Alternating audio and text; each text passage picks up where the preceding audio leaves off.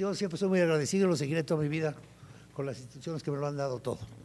Las instituciones que me lo han dado todo, sin lugar a dudas, es el Instituto y el Hospital Español de México. Mi agradecimiento también, por supuesto, a la Federación Latinoamericana, lo cual tuve el honor de ser su presidente no hace ya, hace ya algunos años. Entonces, siempre voy a seguir y seguiré siendo muy agradecido con, con todas mis instituciones, por, repito, por todo lo que ellos me han dado. Quiero que disfrutemos juntos esta hermosísima imagen. Vean ustedes, sí, la historia todo el mundo la sabemos, pero bien, la idea de la imagen es ver cómo se ve el quinto nervio y cómo está siendo golpeteado y cómo va a entrar el cojín ahí. Es una muy hermosa imagen de una compresión del quinto nervio como causante de la neuralgia trigémino. Vean otra hermosísima imagen, como también ya está aquí hasta mellado el quinto nervio, se ve cómo está lastimado por la presencia de la arteria. De acuerdo a las manifestaciones clínicas, es el nervio afectado y eso lo conocen ustedes mucho mejor que yo. ¿Cómo lo hacemos nosotros? Nosotros lo hacemos allá en el instituto ya hace algunos años, en esta posición. Sí, se ha ido modificando algunas estructuras, sí, sobre todo en lo interno, en la apertura de la dura madre, porque ahí mis residentes de repente me hacen algunos trucos, algunos cambios. Yo le digo, ¿cómo se lo, convocamos, doctor Vuelta? Como quieran, quiero. El es que yo esté tranquilo y cómodo con un cerebro depletado. Si no, no puedo trabajar. Y esta es una hermosísima imagen que fue diseñada por Jesús, Jesús Martínez, que aquí está con nosotros, ¿sí? para ubicar a la gente en dónde lo hacemos nosotros y cómo lo hacemos así. Nuestra clásica imagen ya de muchos años, esto debutó en un latinoamericano, ¿sí? creo que todavía eso, no iba Gerardo por ahí con nosotros, pero ya hace más de 30 años en esto, fue en Cartagena esta, imagen. Y nosotros, depende de lo que vayamos a buscar, si voy a buscar el quinto, voy hacia el rincón, siempre les digo, el quinto es rinconero, si voy a buscar el siete o el ocho, me voy hacia abajo y afuera. No tengo que andar peleándome con el, siete y el ocho para llegar al quinto, si puedo llegar directamente. Y eso, por cierto, disminuye mucho la morbilidad. Punto clave, siempre para los cirujanos, la vena petrosa es la marca ideal para que ustedes enseñen el quinto, nervio. Es una mujer de 95 años, que van a ver ahorita ratito en su, entrevista de aquel entonces, en la que se ve la, vena petrosa, el quinto, la compresión y el paquete 7 y 8. Entonces, qué hermosísima imagen, en una gente de 95 años que facilita el abordaje ahí. En ocasiones, y esto también es una imagen muy antigua, podemos utilizar la endoscopía para verificar si hicimos una descompresión adecuada y utilizando este caso que lo permitía y las condiciones lo fueron, pues ahí tenemos la descompresión, sí, y confirmada que está hecha en forma adecuada. Lo hemos utilizado ocasionalmente y hace muchos años. A veces encontramos algunos problemas en el abordaje, por ejemplo, como este el tubérculo suprameatal que está muy prominente, entonces tenemos que hacer un fresado del mismo y fue objeto de una publicación con algunos de los recientes del Ecuador, por ejemplo. ¿Qué es lo más común que podemos ver en el trigémino? Sin lugar a dudas, la presencia de las arterias. Arteria cerebrosa superior, ¿sí? No es suca. Arteria cerebrosa anterior-inferior. Tenemos que hablar en nuestro castellano. Entonces, esas son las arterias más comunes. Les vamos a mostrar algunas imágenes al respecto. ¿sí? Vamos a irnos rapidito. ¿sí? Esto sí quiero enfatizar, que nada mida más al ser humano que el dolor. Vean ustedes, una arteria cerebrosa superior, vean el quinto nervio, vean cómo lo podemos disecar y cómo lo vamos a luxar con mucho cuidado y hasta se ve cómo está lastimado el quinto y se logra casi casi como el parto de la arteria sobre el quinto ya se logra descomprimir en forma adecuada. Contrario diferente, la arteria cerebrosa ¿sí? inferior los ubico el 5, el 7, aquí adelantito, y el 8 y aquí está la compresión y aquí vamos a colocar en este caso un cojín, el primero acá abajo, que ya no lo vemos, y otro entre el paquete 7 y 8, ¿sí? dentro del séptimo y el octavo para la descompresión del facial. Pero en ocasiones podemos encontrar esto, que es la presencia de compresiones vasculares múltiples. Vean, sí, una, una vena prácticamente pegada al, dorso del, nervio trigémino y por delante se alcanza a ver la arteria cerebrosa superior, como está latiendo, la sección de esta vena y después la colocación del teflón en cuando hay estructuras múltiples. Hay muchos testimonios de esto. ¿sí? Lo que me importa más enseñárselos, setenta y tantos años, un enfermo de 67 años con 16 años de evolución. Este es un caso muy peculiar. Está operado de los dos lados y aparte está operado de corazón. No sé si a lo mejor a Rabín le tocó a este paciente. Por esa fue la época. Sí, esta hace 23 años y nos sigue, nos sigue viendo. Sí. O esta mujercita que es hija de un oftalmólogo de Monterrey, que es quizás la más joven de la estadística que tenemos en el instituto o fuera del instituto. Pero ¿qué pasa con lo que puede pasar con frecuencia 15%, 10%? Depende de qué estadística eh, revisen ustedes qué va a pasar si llegamos ahí y no hay arteria. Porque lo que los imaginólogos se imaginan, no siempre el cirujano lo verifica, ¿eh? por lo menos en mi experiencia. Ellos se molestan mucho cuando yo digo esto, pero es la verdad. Porque ellos se imaginan que está la arteria o la ven y llega uno ahí, pues nada, entonces ya está el problema, ¿y ahora qué le hago, no? Entonces, esto fue algo que empezamos a hacer ya, ven, hace ya algunos años, más de 20, ¿sí? Y después también vimos que cuando se acaricia el nervio, va bastante bien. Sí, nosotros usamos un término que dice neuropraxia, que es más o menos lo que estamos mostrándoles a ustedes. No había arteria, ¿sí? y se hace una compresión con la pinza, no, se, no, no, no hay temperatura, no hay no se corta nada de esto. El resultado es una hipoestesia no muy severa y con muy buenos resultados. La eterna lucha de cómo se va a operar la fosa posterior si tiene 70 años. Pues es más fácil. Sí, el 45% de los enfermos de nosotros están, son gente de la tercera edad. Y cuando se tiene un cerebelo como esta señora de 95 o de los 80, uno transita, como siempre les digo, transita uno no en un corredor microquirúrgico, sino en una autopista, porque está, entra uno facilísimo. Y, entra y sale rápido, ¿eh? se los juro. 95 años, ella acaba de fallecer a los 100 años, como consecuencia de sus 100 años, pero le fue bastante, bastante bien. Tenemos otros testimonios de gente de edad, vean, 92, ¿sí? 80 años, 69 con neuralgia bilateral operadas. ¿sí? Este es un señor de 78 años que lo, lo seguí por 10 años hasta que ya opéreme. A los 10 años lo operé. y se le quitó el dolor y está contento y muy agradecido, por cierto. Otro asunto diferente, el espasmo bifacial. Vean ustedes aquí, son dos ejemplos, dos caballeros con espasmo bifacial, bien, bien típico, bien característico. Esta es una enferma, también operada en el Instituto, fíjense qué año, eh, sí te tocó, Revin, por esa época fue, sí, con un espasmo muy, muy severo. Pero vamos a ver esta que es, es más, más importante porque es muy demostrativo. Este, esta es una filmación hecha en el momento de la entrada al quirófano, vean que tiene un espasmo muy, muy severo. y vean ustedes, ahí está el abordaje. Nunca, nunca usamos ningún separador, nunca usamos ningún retractor. Nos vamos con la pinza, con el aspirador hasta que vamos buscando nuestro, nuestro espacio. ¿Qué vamos a ir a buscar ahí? Esto, el 7, ven, qué bonita imagen. Arriba y adelante, dirá el Pecheverría, no se les olvide. Ahí está el 7, arriba y adelante.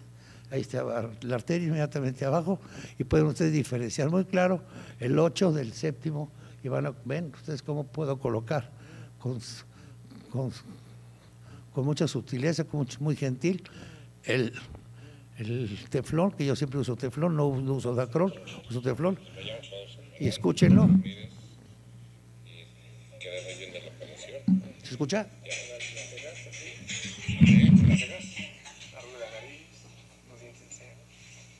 ¿Sí se oye? Hasta creo que, hasta quede más bonito. Dice que quedó más bonito, pues se los quería mostrar. ¿Sí? Esto se ha ido publicando a través de muchos años. ¿sí? De hecho, en el 2000, 2015 salió una publicación los primeros casos publicados en esta y estamos preparando una segunda publicación ya con, con más de 250 casos operados en el instituto con espasmo, que espero salga. Si no es este año, yo creo que el año entrante podrá salir. Esta fue la que salió en el 2015, con ciento y tantos pacientes. Vean, es un caso en el Hospital Español. Este es un alto directivo de una, de una fábrica de lencería y está en el momento que se está operando y decía que cuando no entregaba los calzones era cuando se ponía peor. Ahí lo dice, ¿sí? ¿Sí? Entonces está muy severo el espasmo, muy limitante para él.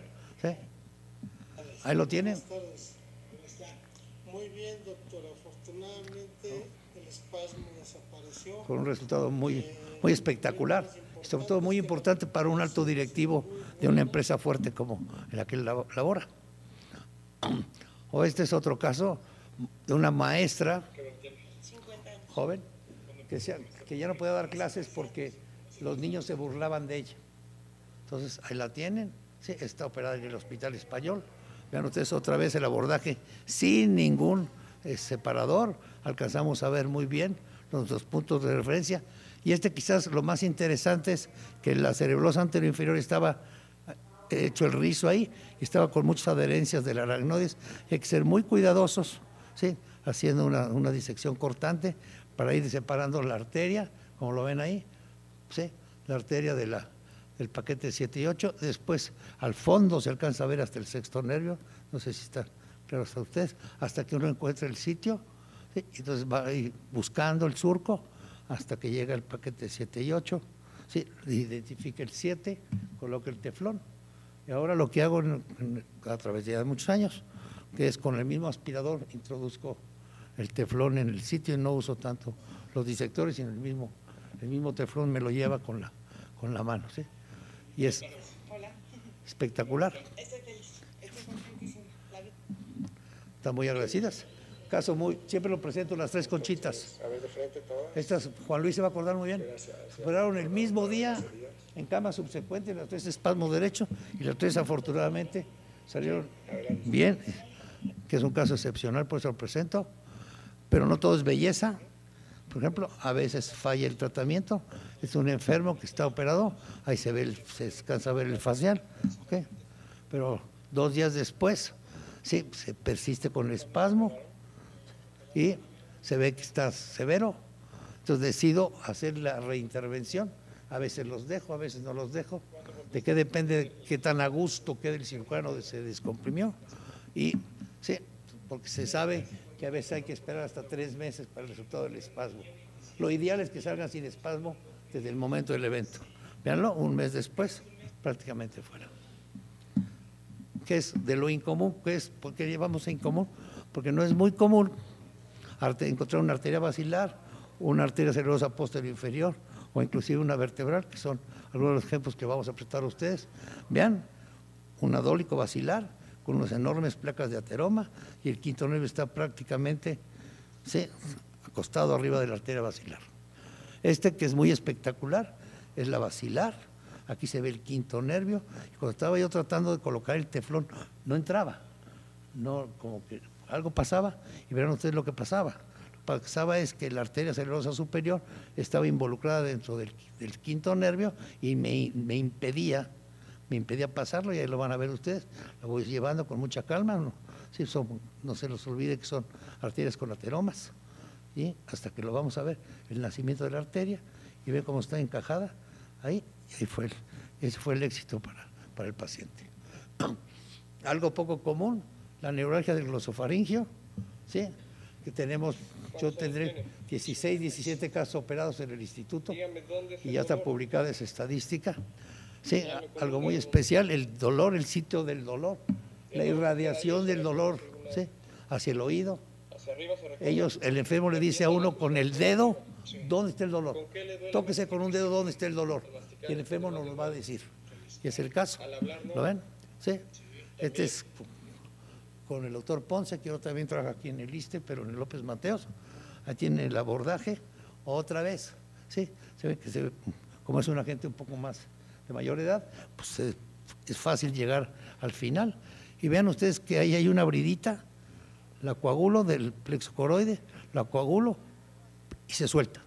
¿Vieron? Se soltó el- el nervio y después ya me va a permitir ir hacia abajo y mostrarles a ustedes que ahí está la compresión y colocar ahí el teflón con una muy buena evolución como lo vamos a mostrar a continuación. Vean ustedes, ahí está el teflón colocado en su sitio, ¿sí? y se alcanza a ver el resto de los parches. Y para arriba, si cambiamos el microscopio, lo vamos a ver. Le quitamos el dolor y hasta el bigote.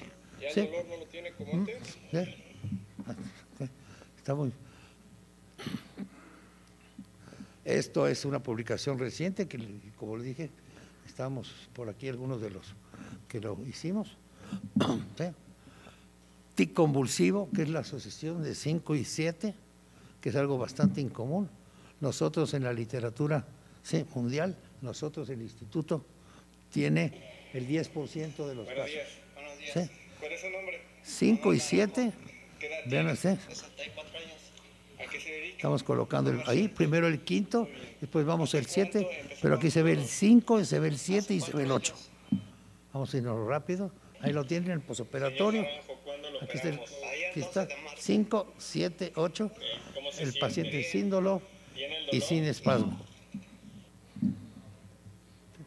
Esta es una enferma también con un tic convulsivo. Se operó que tenía mucho dolor, espasmo. Es otra residente actual, es Claudia la que está haciendo la entrevista, Claudia Cervera. Y ahí está, contenta porque ya se le quitó el dolor. Y ahí está lo que le hicimos, el 5, el 7 y el 8 juntos. Se le quitó el dolor y el espasmo también. Buen resultado para ella. Buenos días. Entonces vamos a brincar, este es el hospital, pero vamos más rápido. Un, un caso inusual, publicado el año pasado, de un tic convulsivo por un quiste, ¿sí? que no supimos la causa del quiste ni la etiología. Sí, si ustedes van a ver, sí, es otro caso, un femenino de 63 años, sí, que tenía dolor y el espasmo, lo van a ver. Ahí está el quiste, ¿lo ven? que es totalmente, totalmente diferente a lo que les voy a enseñar a, continuación. Lo controversial, que aquí hay cosas. Sí, hemicrania paroxística crónica. Es una mujer de 37 años que ustedes vieron, que el doctor Fernando Cermeño, ampliamente conocido por su enorme experiencia en cefaleas, me dijo, oye, ya le hice de todo. A lo mejor si, como dice él, si le zarandeas el quinto, igual se le quita. Ahí voy yo. Y, y le encontré una compresión. Pero esta enferma también hizo cosas muy peculiares, porque en el postoperatorio inmediato hizo una hemiplegia que se quitó en seis horas. Así es que el aspecto afectivo nos dejó muchas dudas, pero el hecho es que se operó y está sin dolor y muy contenta. Y Cermeño muy agradecido porque dice, ya me la quitaste de encima, porque es una enferma muy, muy complicada. ¿sí? Otra cosa, lo controversial, dices, ¿cómo vamos a operar una esclerosis múltiple, una neuralgia trigémino con esclerosis múltiple? Pues hay casos excepcionales y este es un caso que otro neurólogo del instituto me la pasó, José Flores, que es el jefe de la clínica de, de esclerosis múltiple y que está con un dolor muy severo del lado izquierdo, se le hizo la resonancia que lo van a ver ustedes y la resonancia verán que no que no se ve, no se ve la lesión.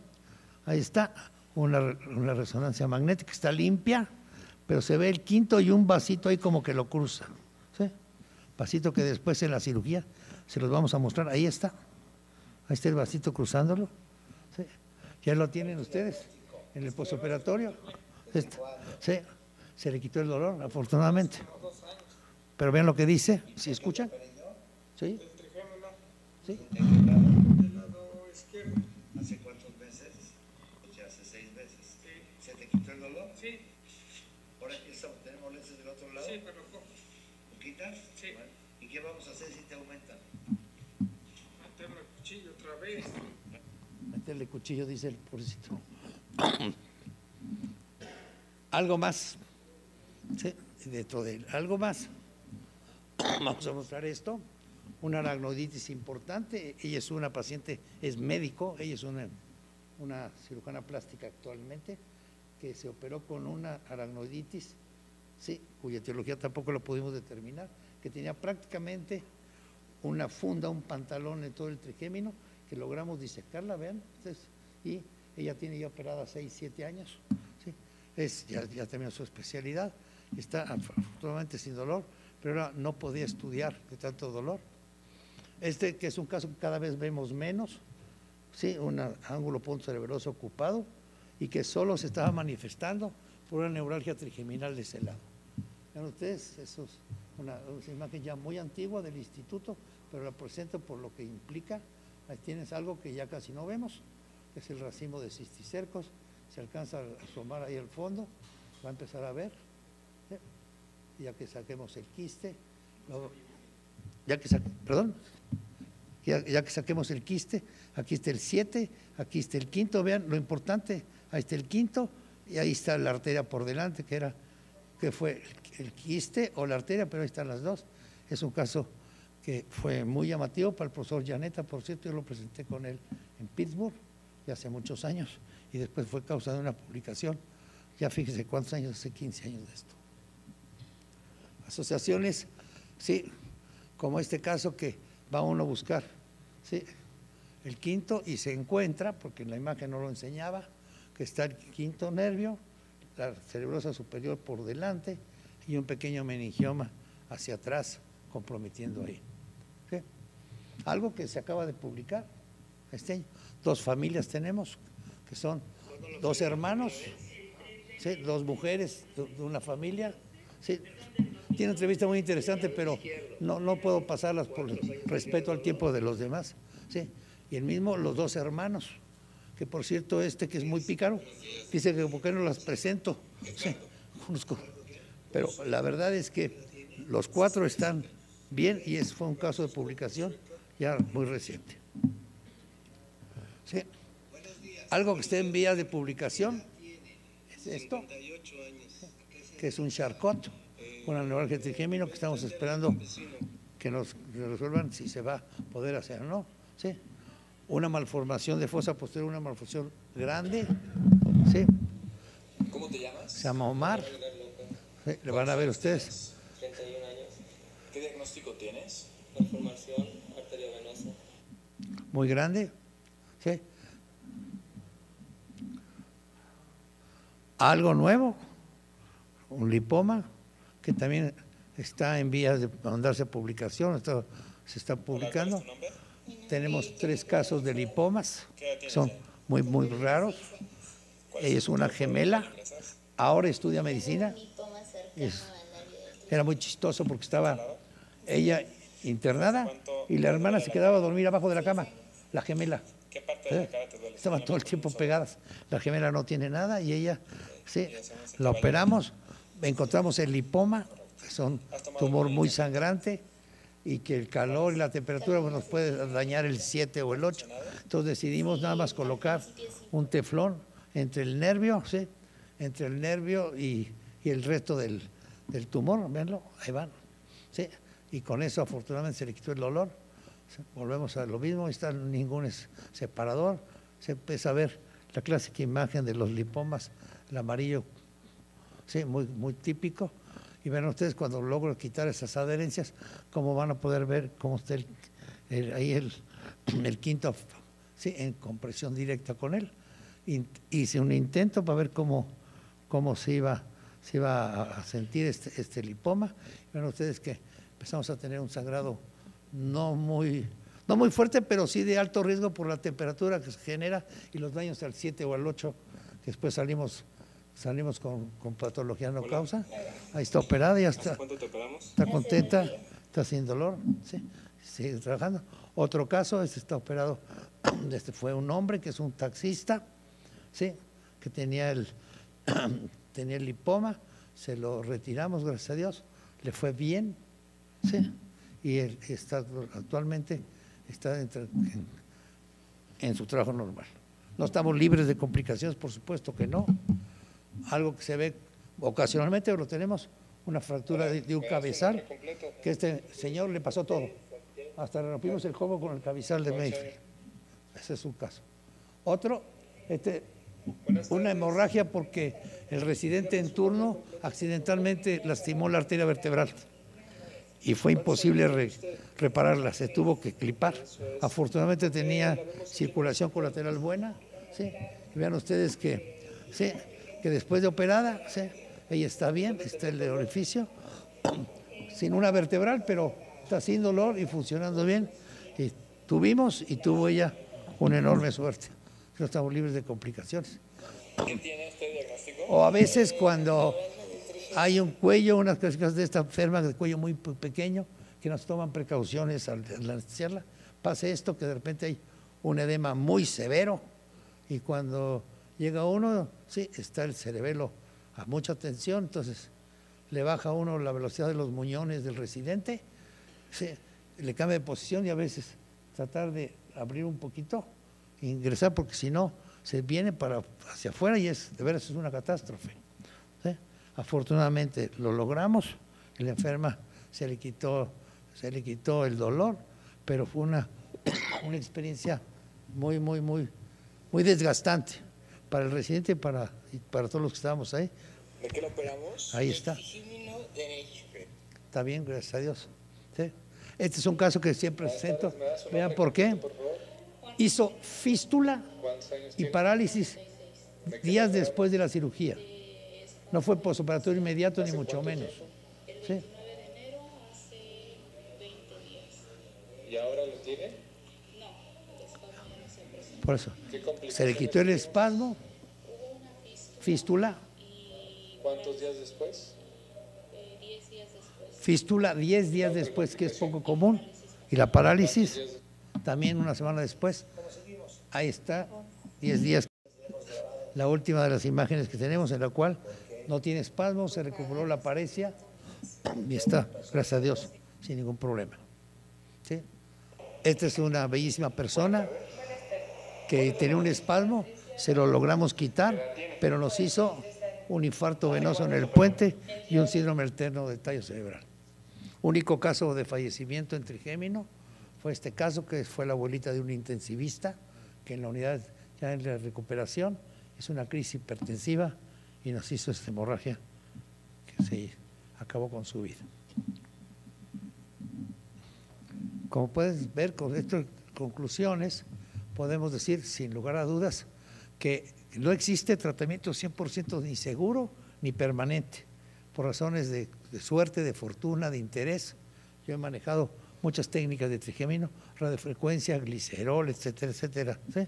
Inclusive estoy involucrado en algunos protocolos de radiocirugía y no hay ninguno que sea ni permanente ni 100% seguro. Eso es importante. Que la descompresión micro- microvascular es una técnica altamente recomendada. Sí, sí, es altamente recomendada. Y vamos a decirles el por qué. Vamos a darles siete razones. A ver si, como digo, cuando hablo con los radioterapeutas los convenzo. La primera, porque está dirigida a la teología. La segunda es no destructiva. No tiene dependencia tecnológica. No tiene límites para pacientes de la tercera edad. Sí, sí. En ausencia de compresión tenemos el recurso de la neuropraxia. Es altamente efectivo y en costo-beneficio, vean ustedes en el instituto lo que cuesta la radiocirugía con lo que cuesta, sí, este es radiocirugía y esto es lo que cuesta una descompresión, 7 a 1 el costo. El resultado aquí es inmediato, aquí hay que esperarse varias semanas. Este deja pocas disestesias, este deja muchas disestesias, sigue siendo muy superior la descompresión microvascular que la otra. En conclusión, la descompresión es una modalidad segura para el tratamiento de estas, patologías. Se puede practicar libremente en, en pacientes de la población senil, siempre y cuando su riesgo cardíaco sea manejado. Les repito, es mucho más fácil, mucho más rápido que los demás. Cuando no hay compresión clara, podemos hacer la compresión digital, ¿sí? Y, el frote gentil en el espasmo también le ayuda mucho al resultado. Quiero, como siempre, agradecer a mi grupo de toda la vida, a mis gentes del instituto, al doctor a mis residentes, ¿sí? ¿sí? a todos mis residentes que han pasado conmigo y decirles que esto es la historia ya de algunos años. Ustedes pueden ver, dedicado a esto, desde 1996 que empezamos la publicación, empecé yo apenas un poquito antes, hasta ahora en la actualidad hemos hecho estas publicaciones. Siempre con los residentes, siempre con la gente que sabemos que en un futuro van a ocupar un lado preferente y van a hacer esto tanto o mejor que yo. Muchísimas gracias por su atención.